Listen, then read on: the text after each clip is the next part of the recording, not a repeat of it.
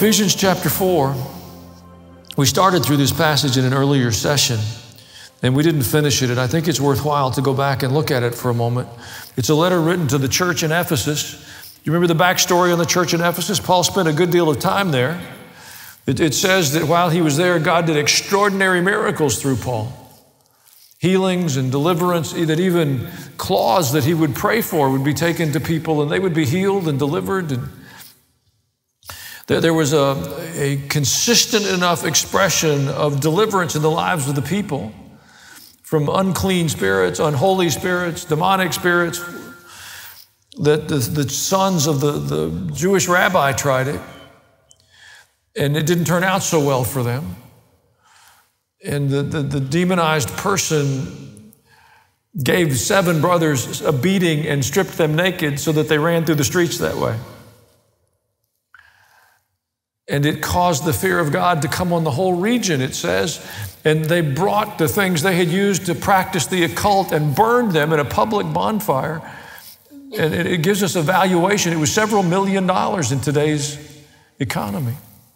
So, a remarkable moving of the Spirit of God in Ephesus, followed by a very demonically inspired riot that engulfed the whole city. So the, the believers in Ephesus had seen the power of God and the response of ungodliness. They had, they had seen quite a bit of spiritual activity. And now Paul is writing to them. And, and they seem to be a bit addled, they're, they're a bit confused. And in Ephesians 4 and 17, he said, I tell you this, I insist on it in the Lord that you no longer live as the Gentiles do in the futility of their thinking. If he's telling them that, you can deduce something. There's a conclusion that I believe is appropriate. If he's saying that to them, there is something that has caused him to imagine that too many of them are living as the Gentiles do in the futility of their thinking. And he uses very strong language. He said, I insist you stop it. They're born again, they're spirit filled, they believe in miracles, they believe in deliverance. And he's saying, Your thinking is messed up. And he gets into the weeds with them. He said, This is not the way of life you learned when you heard about Christ and were taught in him in accordance with the truth that is in Jesus. You were taught, so he's reminding them of something. They have they have digressed, they have strayed, they've wandered off. He said, You were taught with regard to your former way of life to put off your old self. It's being corrupted by its deceitful desires and to be made new in the attitude of your minds. To put on the new self, created to be like God in true righteousness and holiness. He said, This is what you were taught. And then he begins to give them a very detailed list of, of how they have, their thinking has, has drifted. Do you, do you have room to imagine that as Christ followers, born again, spirit filled, church attending, chorus singing Christ followers, we could get goofy thoughts? See, we've been so insulated. We wanted to argue that we can't lose our salvation or whatever, and, and we, we completely forget about what it means to live a godly and upright lives. That's the assignment. In chapter 5, he said, Follow God's example as dearly loved children. Walk in the way of love, just as Christ loved us and gave himself for us as a fragrant offering. Among you, there must not even be a hint of sexual immorality. Now, you got to balance verse 2 and verse 3. We all know we're going to walk in the way of love. We're going to love everybody. Group hug, kumbaya. We're just going to practice love.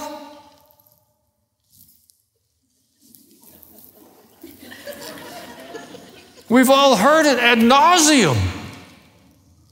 Well, I started to say something, but I wasn't sure it was going to be in love. But in verse 3, he said, Listen, there can't even be a hint of sexual immorality or any kind of impurity nor a hint of greed, because these are improper for God's holy people. Nor should there be obscenity or foolish talk or coarse joking. They're out of place. Practice thanksgiving. For of this you can be sure Now, remember, this is right in this passage. It starts out with walk in the way of love. No immoral, impure, or greedy person, such a person as an idolater, has any inheritance in the kingdom of God. Let no one deceive you with empty words. For because of such things, God, God's wrath comes on those who are disobedient. Therefore, do not be partners with them. Church, we are called to lead holy and upright lives. Are we perfect? Nope. We're cracked pots. And God is working on us and through us. But there's a difference in recognizing that you are in the process of being transformed and yielding to the practices of this world. Do you understand the difference? In one, we capitulate and we excuse it. Well, nobody's perfect. We all have our struggles. That's just the way I am. Well, my people. Well, you don't understand the pressure that I'm under. I mean, we have an amazing ability to provide for ourselves justification for ungodliness. And so Paul is writing to a church that he has labored in, in seeing birthed and, and grow up. And he said there doesn't even need to be a hint of immorality amongst you. And he goes on to say, please don't misunderstand. No immoral person has an inheritance in the kingdom of God. And you can say, in the context of this, no matter what building they sit in on Sunday morning. So I think we need to come back to being the church before we have the courage, before we'll find the authority to raise our hand and stand for godliness and righteousness. We're going to have to start to bring it into our own lives and to our own kitchen tables and to our own family circles and to our friends groups. We've got to be the church. We have lost our way. We're not the first church to do that. We're not the first generation to do that. It doesn't mean it's the end of the age because we've done that. It may very well be the end of the age. But the, the, the, the challenges that we're facing inwardly are not the result of the end of the age. They're the result of our own choices, in the language of James, to walk in the dark. We have loved the darkness, we have lusted after it. It bugs me when I see us present ourselves in the same way as the world when we bring our music forward.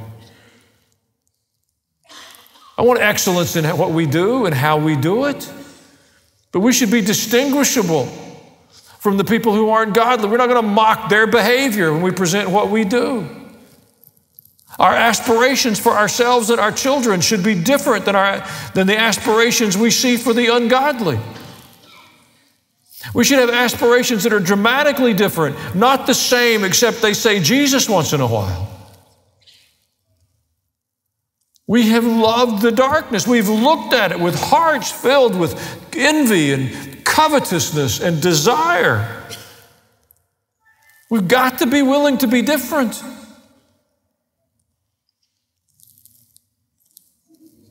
Because it's better.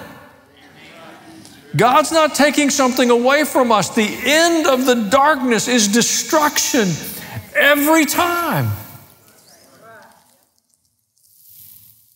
It's not a better way.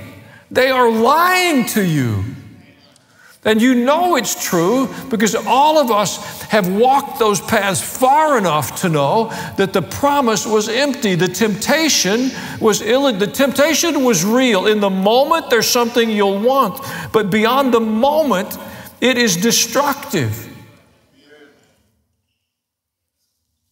It's as if we're addled. We've been dazed. We're in a stupor. The language is plain. Put off the old self. Be made new in the attitude of your mind. Put on a new self. Put off falsehood. Speak the truth. Stop stealing, he said. It's an invitation to a total makeover.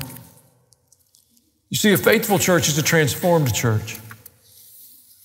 It isn't just a church who's embraced a creed or a new moral code. Our faith doesn't begin on the outside. It's not an outside in process, it's an inside out process. We begin to be transformed on the inside. Our desires are changing. If our desires aren't changing, you have reason to, to reflect upon the quality or the nature of the relationship you have with the Lord. There should be in us a trend toward we want less and less of ungodliness. When we start, we want a lot of it. We start to sort that out and to rearrange and to, to redirect, but we should want less and less ungodliness. There's a transformation underway.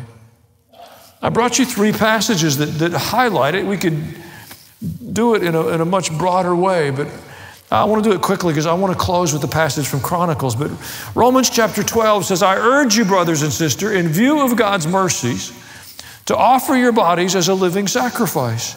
Uh, in view of God's mercy, again, we would be tempted to say, in view of the mercy of God, just do whatever you want to. He's merciful. But Paul wrote, and he said, in view of God's mercy, offer your body as a living sacrifice. Now, we're not familiar with the sacrificial system, we haven't practiced that. But you take an animal to the priest, and the, the priest would slaughter the animal and put the dead carcass on the altar as a part of a burnt offering to God. By the time the animal was placed on the altar, it was empty of any self determination. Nothing jumped off the altar. And Paul is using that imagery and saying to you and to me, offer your body as a living sacrifice, holy and pleasing to God. This is your true and proper worship. What's it mean to worship the Lord? It means to offer yourself physically, which means when my body says, I want, or I feel, or I think, I say, hush. I'm going to worship the Lord. I don't want to. I didn't ask for a vote. We're going to go worship the Lord. I don't feel like it. Shut up. We're going to go worship the Lord. I don't like the music. I know, and they don't like the way you sing, but we're going to go worship the Lord.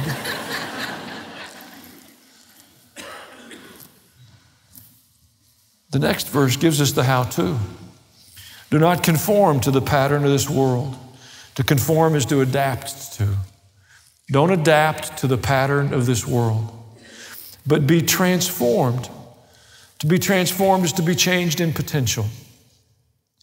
Don't adapt to the prevailing standards of this world, but be changed in potential by the renewing of your mind. We're going to have to learn to think. It's what Paul was telling the Ephesian church.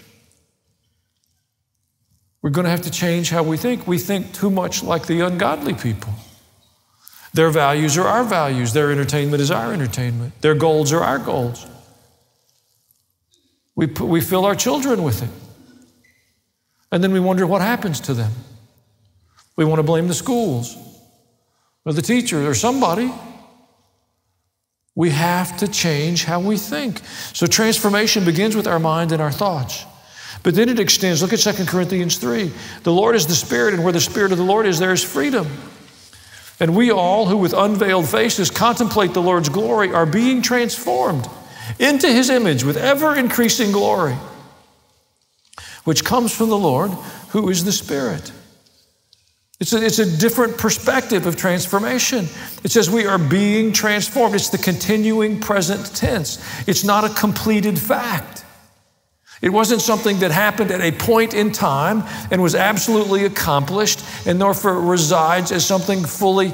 The, the language is very capable of expressing that thought. That's not what's being communicated. It says we are being transformed. It's describing a spiritual freedom that comes to us and continues in us.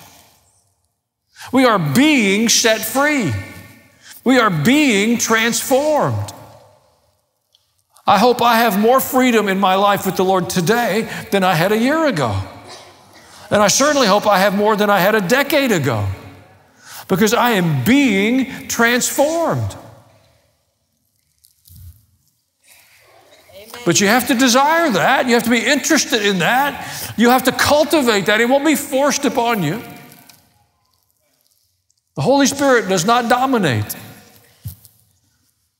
He'll put before you an invitation, but you'll have to choose to cooperate with Him. You have to choose to cooperate with transformation. Again, we've had this really destructive idea that there's some minimal kind of Christianity that you can embrace, but you don't have to go any further with it. That's just for those hyper people. Folks, the, the Bible makes no such distinction. There's not like hyper Christians, there's just God's people. And you either are or you aren't. This notion that there's, you know, this middle lane is a fabrication. It frightens me. And then in Philippians, it describes for us a completely different kind of transformation. Just our citizenship is in heaven, and we eagerly await a Savior from there, the Lord Jesus Christ, who by the power that enables him to bring everything under his control will transform our lowly bodies. Remember, transform is to change in potential. Our bodies will be changed in potential so that they'll be like his glorious body. Do you know you're going to get a new, you're going to get a physical makeover? Amen. If you're young enough that that doesn't matter to you, just hang on. in this case, it's future tense. It's tense. It's something that's ahead, which will be accomplished. Our current physical self serves some very important purposes.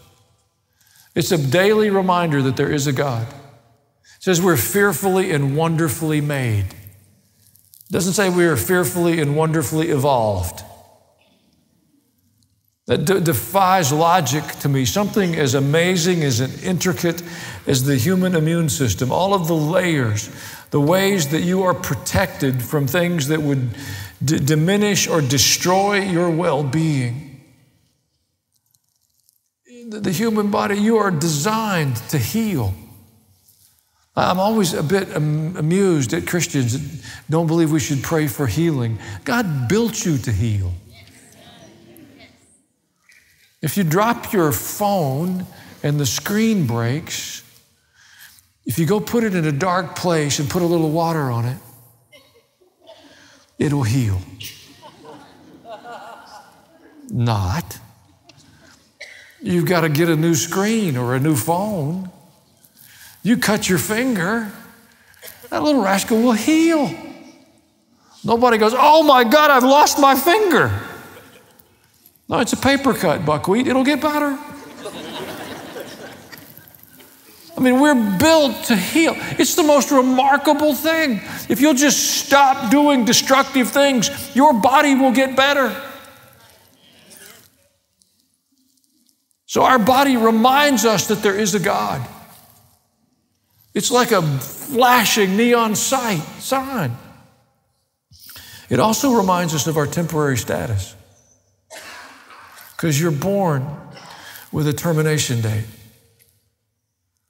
You're on a countdown clock. And if you turn the calendar enough times, that will begin to break through. And you're like, wow, I should think about something beyond now. So your body has a very important function. But the promise of Scripture is there is a there's an update coming. A complete transformation. So the, the encouragement is to take care of your current assignment, take care of the temple, but don't worship the temple. Amen. Understand it's a container. We talk about it as an earth suit. And, and we struggle with that. We end up worshiping the container. We think it's the container that gives us value and the container that makes us significant. And God said, No, you're going to get a whole new one, a glorious upgrade. So we're invited to transformation of our thoughts, of our spirit, and of our body. It's a total makeover. How are you doing with that? There should be a consistent dynamic of change in our lives. Thank you for watching this video. If you enjoyed it, subscribe to the channel. You know the drill. Hit the bell for notifications. If you want to, leave a comment.